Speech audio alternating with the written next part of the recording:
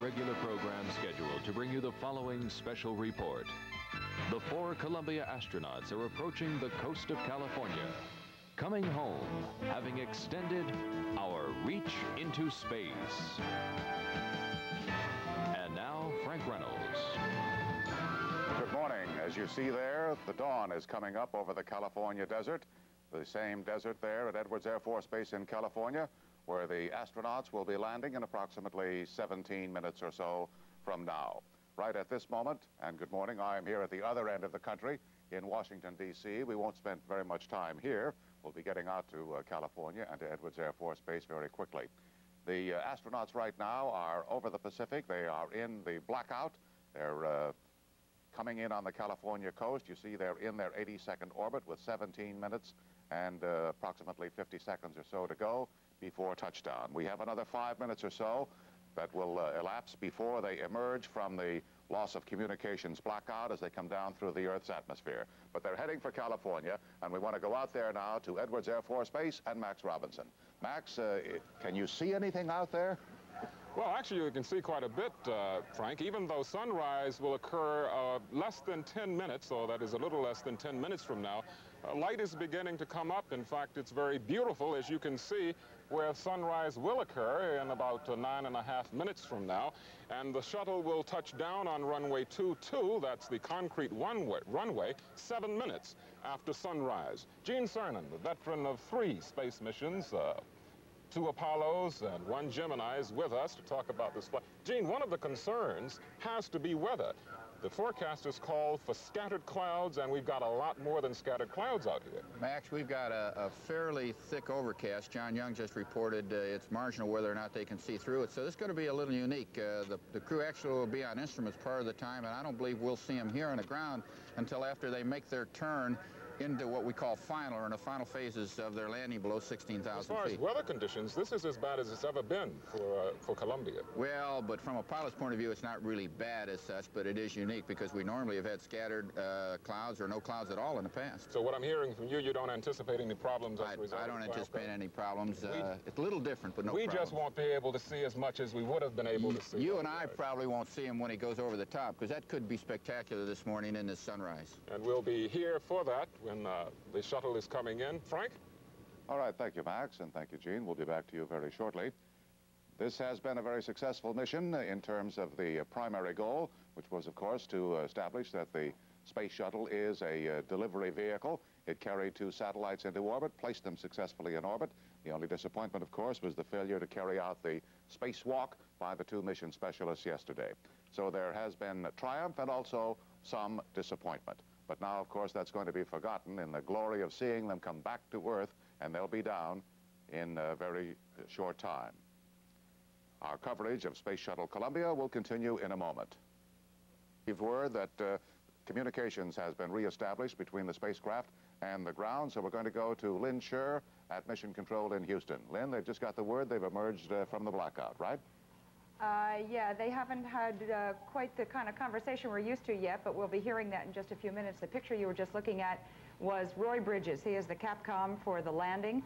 He is down in mission control, and he will be talking them down.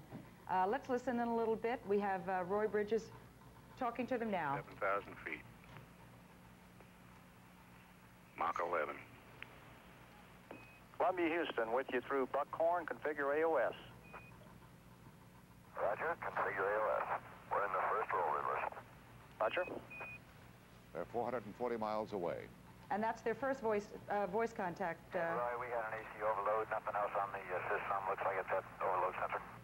Roger, Bob, and uh, we've checked, and your AC systems are all good. Okay. Lynn, how we take this for granted now. Remember all those anxious moments waiting for former astronauts to come down and emerge from the blackout? I think you're right, Frank, but on the other hand, isn't a little part of you just tingling? Wouldn't you like to be out there watching it coming in? Oh, yes, and so would you. It's interesting, though. I've never seen it from the mission control point of view, and these guys, I expect, are going to be just as excited as they have every other time. We're only about 12 minutes away from touchdown now. They will cross the California coast just uh, Columbia's at Mach 9 at south of uh, Santa Barbara feet, range 331 miles. At a speed of about 3,000 miles per hour. You might say they're coming like a bat out of space. Or out of somewhere, Frank. Everything looking good. Frank, this has been an amazing mission, as you know well. Uh, this for this this mission, Columbia, the space shuttle, was transformed into Columbia, the space truck, taking up satellites, delivering them, carrying freight, and doing just what it was supposed to, at least for the most part. We've put together a little um, a little piece of tape that gives some of the highlights of that mission, beginning with the launch. One, zero, liftoff. We do have It began the way the flight planners had dreamed it, a flawless launch for Columbia's fifth journey into space. And at first, there was only good health and good spirits for the four men in their machine. Just eight hours into their mission, they carried out their major objective, the deployment of the first commercial satellite from the shuttle's payload bay. With mission specialist Joe Allen at the cameras, his partner Bill Lenoir activated the mechanisms to set the giant drum of electronics spinning, then sprung it out of the orbiter. It worked, and the folks down in Mission Control celebrated the beginning of the shuttle as an operational vehicle.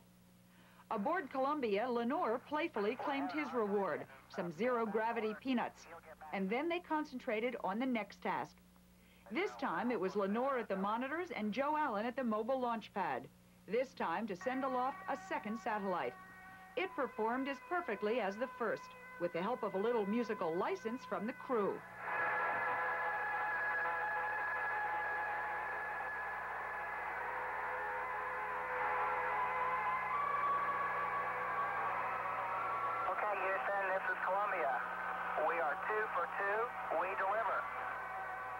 Had become their new unofficial motto. There was one setback, Lenoir's bout with space sickness that put the spacewalk off a day. But then they all tumbled back into good spirits. Lenoir is still barefoot and grasping footholds with his toes.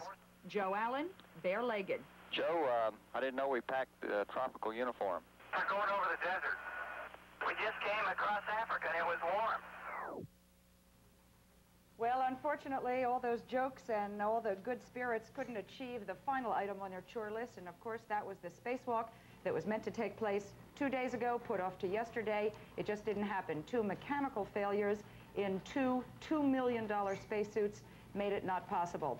So it was the first cancellation of an American spacewalk due to mechanical problems, due to hardware, and it was a pretty big disappointment, both for the emotional uh, the emotional high these guys were on, and also scientifically. The shuttle must have a spacewalk in order to complete its progress as part of its entire program.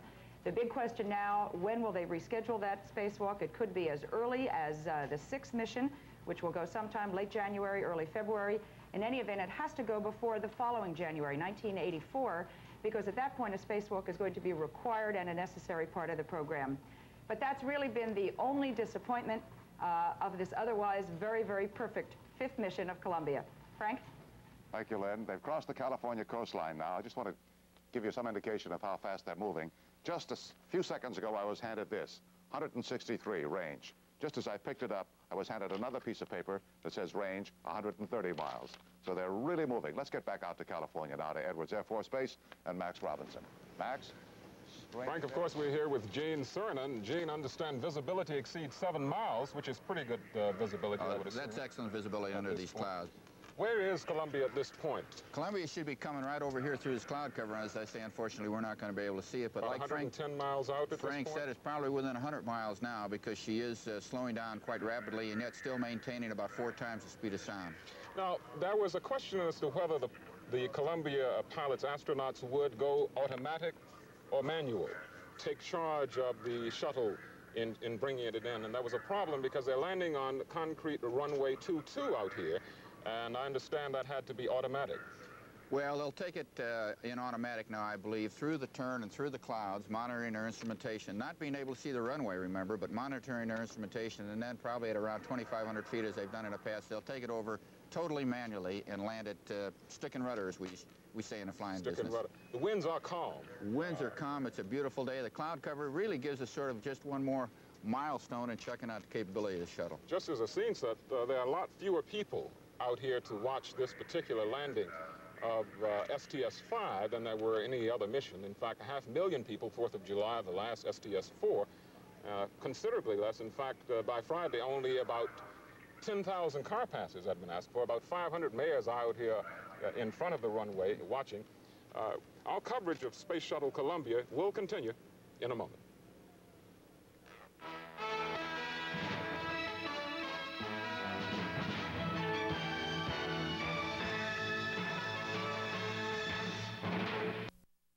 Edwards Air Force Base. The astronauts on board are uh, Commander Vance Brand, 51 years old, the only veteran of spaceflight, uh, Colonel Robert Overmyer, the uh, Marine Corps pilot, the mission specialist Joseph Allen, and mission specialist Bill Lenoir. Those are the two men who attempted to uh, make the spacewalk yesterday and uh, unfortunately because of malfunctions in the space suits could not carry out that mission. Only four and a half minutes to go now before touchdown. Let's go back to Lynn Sherr at Houston. Lynn? Uh, Frank, I wanted to point out that when they come in, uh, one Bill now. Lenoir, I'm sorry, Joe Allen will be sitting range behind the pilot miles. and the commander up in the uh, flight deck, up in the cockpit as, uh, cockpit, as it were. Bill Lenoir this time is down in what Joe Allen referred to as steerage. That's the Columbia extra seat. subsonic now at Mach point nine Hey, we see it. at There it is. 46,000 feet and a range of 25 miles. Now that's from a camera at, uh, at Edwards, Buckhorn, right? I'm not sure which camera that is, but it sure is nice Yeah, to see it. It would be a double boom, uh, Gene. What, what accounts for that? Usually you get one boom. Well, the shape of the spacecraft is so blunt that you get uh, sonic booms off of different sections of the body. But, uh, you know, we didn't hear that this morning. I wonder if the cloud cover had quite a bit to do with that. She is Does that have a lot to subsonic now. Could very well. And uh, that picture we from you, saw was from a, yes, sir, that picture we saw was from a chase plane, but we can't see it, Frank, because she's behind the clouds. There it There is. it is. We, we did. There it is. Yes. It uh, was somewhat subdued, but uh, she was long in coming this morning. So that should put it uh, just Chase over us, about here, as you can see. Columbia. We're seeing this picture now There you are. from a chase plane. And that picture is being taken from above the clouds, Frank. We do not see it from here, but we know just about where she is. That's going to be a sight when it comes through those clouds right down on top of you two out there. It's going to it's going to make a turn right out of the sunset, which is going to be spectacular. feet. May be difficult for us to see here until it gets almost on us, won't it, Gene, because of the cloud cover. It will. I think we'll see it break through right over here above that sunrise, Max. It's a good thing we've got those chase planes up there. We wouldn't It see it at help. all. Holding 1.6 Gs on the heading alignment circle. Now, they're they're above what almost seems to them like a, a snow cover feet. because uh, they have yet to see the ground. Uh, You expect them to see the ground knots. just shortly before landing. Well, at about 16,000 feet, which is as fast as they're Range going, is really very miles. shortly before landing. Gentlemen, let me just make Houston, you're one, looking uh, real good on the hack. let me make just one more reminder here that everybody should realize, even though this is the fifth mission of the shuttle, it's now a glider. It doesn't, uh, it doesn't have another opportunity to go around. It's, it's got to make it on this That's a good landing. point, These A good point. astronauts are coming in now with no visual sighting of the, uh, of the landing strip. Gene, what kind of emergency procedures do they have here for the landing? Of course, the only emergency procedure they has is, have is a normal one, Max, and that's to come home and land at this stage of the game. Of course, there's no ejection seats. Uh, they are in a normal emergency, uh, all-encompassing mode right now. Okay, we show And at this point, everything looks good. 14,000. We ought to see it right under those clouds. Shot from ground cameras now on the monitors in the rear center. It's coming through the clouds now, as you We can see. it We do right have it. angle now. Here she is, Max. There she is. Here she is. She's Beautiful. turning on the straightaway now, Frank. Beautifully Yes, sunlit, reflecting the sun. Look at that. We can see that reflec reflection uh, that you see on Very, a television well. camera. Absolutely like a star coming in the land. Oh, here he comes, Unlike right you at and us Frank, now. this is my first, and this is just utterly fantastic. Frank, it's just glowing against the clouds. Uh, we're getting a picture head on. It's like, a a beautiful, star. bright star. Just Right. coming right in at us. 5,000 feet. And it's going And to even drop see very, the- the very other fast, too, isn't it, At now? this point, yes, extremely fast. She is just absolutely gorgeous. It's gorgeous. here, 2,800 feet. as you can see. There she goes. With a chase plane leading, 289 miles. What a sight. just beautiful. Really coming down. You, you still get the feeling this is an airport with an ordinary commercial jet landing, Gear is down. but we know better. You can tell the crowd is holding their breath at this point. Gear is down.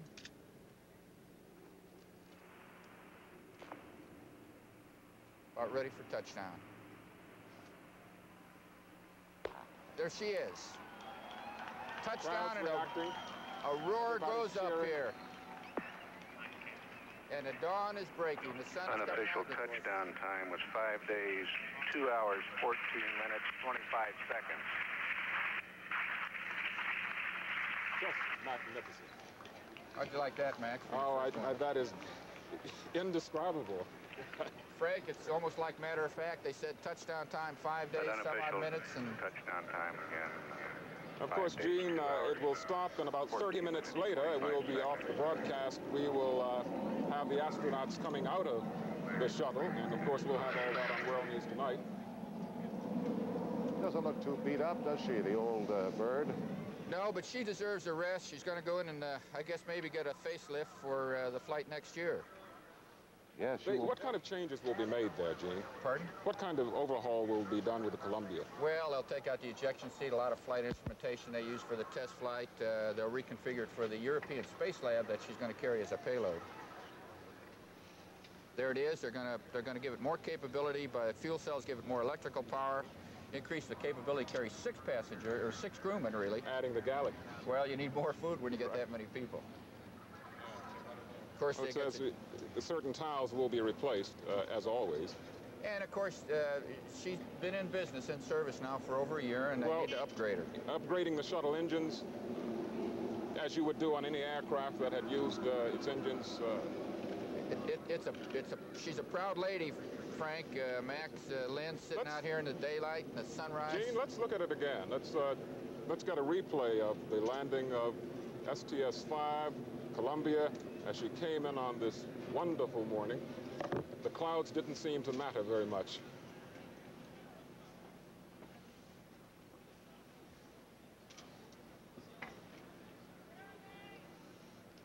Just a beautiful approach, no problems at all. The, the sunrise, the early morning sunrise, puts a whole new dimension.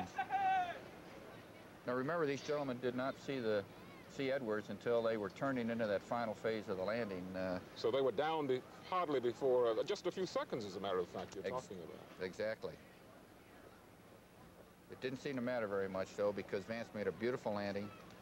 Uh, the shuttle has, has performed, I believe, beyond what people expected it to. Uh, Max, certainly beyond what I really ever dreamed of myself. I knew it'd work, but What, what do you see in terms of uh, future for shuttle? Of course, we start with the Challenger in January, the first flight of the Challenger, which is uh, an operational vehicle, and understand it can carry a lot more tonnage. Well, it's gonna, gonna, gonna be upgraded. Here's a new replay of it coming straight in. Cloud cover in the background. There's something majestic about her. You can feel her presence Yes. as she she descends upon you. And the interesting thing, of course, the descent is extremely steep, almost falling like a rock, some people compared it to, but it certainly doesn't look anything like a rock there. There come the landing gear, and the landing gear this time uh, were probably about 200 feet above the uh, surface of the ground. There was hardly any wind out here at all, Max. It was perhaps a perfect morning. You can see a little contrails, a little moisture coming off the wingtips this morning. As a matter of fact, they haven't been able to test what crosswinds would do uh, to the shuttle when it lands. In fact, they need to do that, don't they, at a time in the future. There it is. STS-5 landing here at Edwards Air Force Base on runway 22, the concrete runway. Frank? Thank you, Max, and thank you, Gene. So, Columbia, the space shuttle, has ended her fifth flight. There have been three this year. Columbia will now get a rest and uh, will not be put back into uh, operation again until uh, the fall of next year. But there will be uh, 12 flights, five shuttle flights next year, I should say, and then 12 in 1984 and 16 scheduled in 1985. So, believe it or not, one day this sort of thing will become routine. Not, I suspect, to anybody who's ever watched it actually take off or land. Vance Brand, Bob Overmyer, Joe Allen, and Bill Lenoir are down. They are safe. They have accomplished their mission. Columbia is home once again at Edwards Air Force Base. For Max Robinson and Gene Cernan and Lynn Sherr in Houston, this is Frank Reynolds. We'll have a complete report on the landing of Columbia on ABC's World News tonight. Goodbye for now.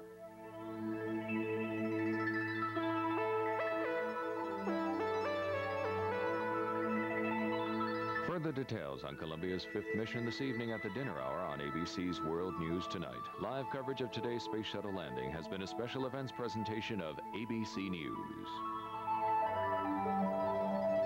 Space, but the first light of dawn over the California desert also revealed the worst cloud cover yet for a shuttle landing.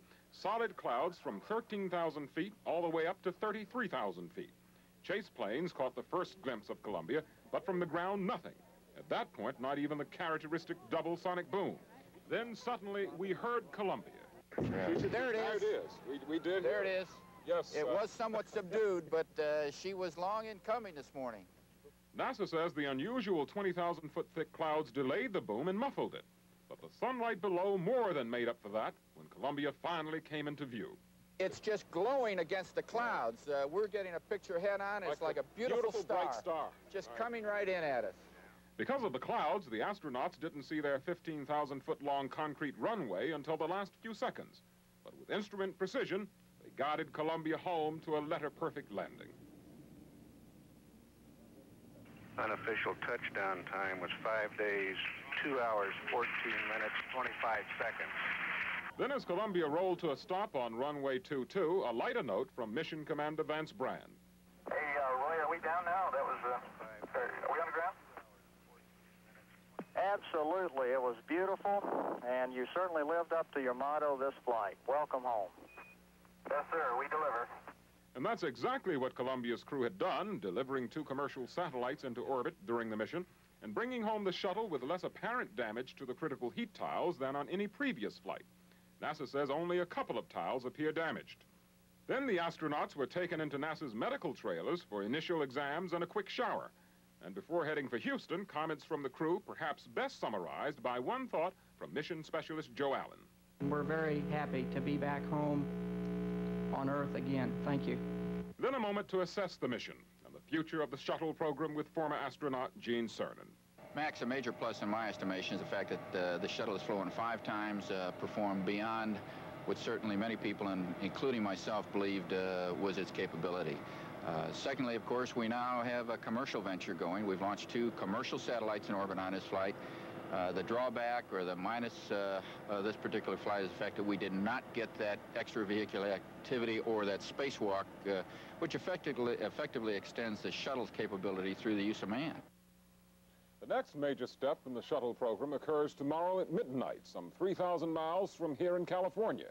The Challenger, America's second space shuttle, will be moved into the Vehicle Assembly Building at Cape Canaveral, and preparations will begin for its first flight, now set for sometime between late January and early February. As for the Columbia, it will be overhauled and modified over the better part of next year. It's scheduled to fly again in October of 1983.